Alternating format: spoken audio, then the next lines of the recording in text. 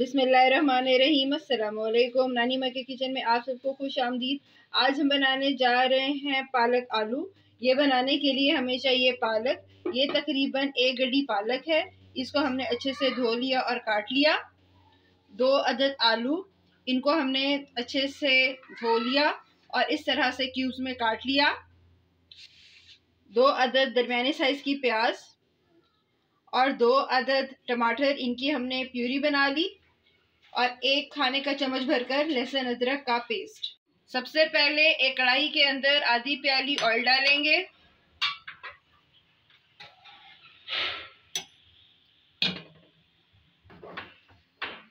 फिर इसके अंदर हम एक टीस्पून सफ़ेद ज़ीरा डालेंगे और इसको कड़कड़ाएँगे.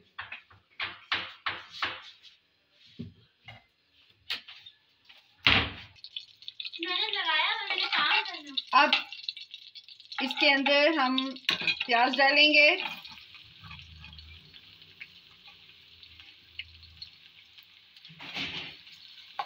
और इसको अच्छे से फ्राई करेंगे।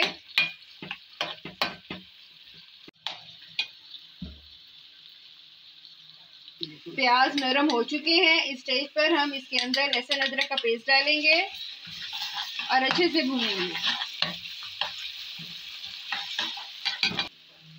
अब इसके अंदर हम टमाटर डालेंगे।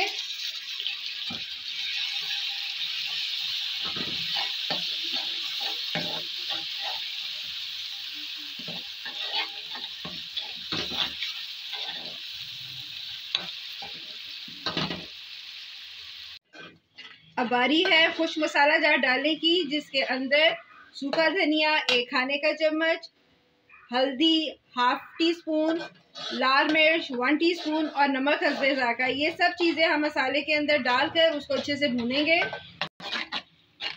इन सब चीज़ों को हमने मसाले के अंदर डालकर अच्छे से भून लिया। और ये इसका ऑयल भी ऊपर आ रहा है। इसका मतलब है कि ये मसाला अच्छे से भून चुका है। अब बारी है पालक डालने की। पालक को हमने इसके अंदर शामिल किया। अभी चंद ही मिनटों के अंदर ये दब जाएगी, यानी कि इसका पानी निकलेगा और ये कम हो जाएगी साइज़ में। इस स्टेज पर हम इसके अंदर आलू शामिल करेंगे। याद रहे, इसके अंदर हमने कोई एडिशनल पानी नहीं डाला, क्योंकि पालक के अपने अंदर बहुत पानी होता है और ये अपने ही पानी में गल जाती है।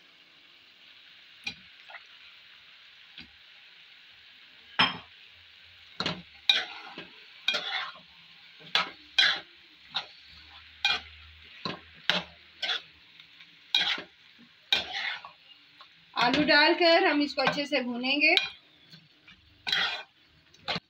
अब हल्की आँच पर पाँच से दस मिनट के लिए हम इसको पकाएँगे। मिनट गुजरने के बाद, ये देखें, पालक ने किस कदर पानी छोड़ दिया है, ये अपने ही पानी में गलेगी और इसी पानी में आलू भी गल जाएँगे। हमने इसके अंदर कोई एक्स्ट्रा पानी नहीं डाला। दस मिनट गुजरने के बाद, ये देखें आलू पालक बिल्कुल तैयार है। इस स्टेज पर हम इसके अंदर थोड़ा सा गरम मसाला शामिल करेंगे और अच्छे से मिक्स करेंगे। और साथ ही फ्लेम को ऑफ़ कर देंगे।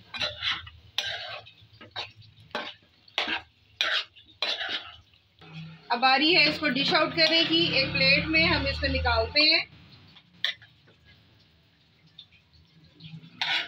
हमारा मज़ेदार सा सालन तैयार है। इसको आप चपाती के साथ खाएँगे, बहुत ही मज़े का लगता है और ख़ास तौर पे चपाती के ऊपर अगर घी लगाकर खाएँ तो इसका मज़ा दोबारा हो जाता है।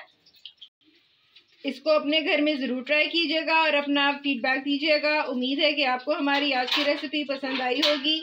अगर आपको हमारी आज की रेसिपी पसंद आई, इसको लाइक करें शेयर करें, हमारे चैनल को सब्सक्राइब करें, अपनी गाँव में याद रखें।